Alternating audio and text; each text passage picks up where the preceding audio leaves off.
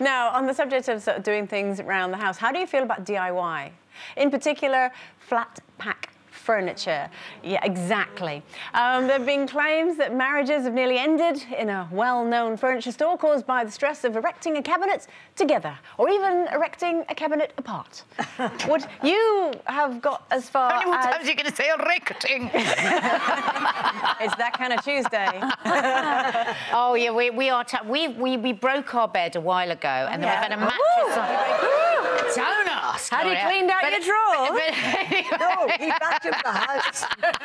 But anyway, so we've had a mattress on the floor. We are literally living like students. It's disgusting. And we ordered a bed six Yeah. weeks ago, and it came in all its boxes, and it's still in the sitting room on the floor. There it is.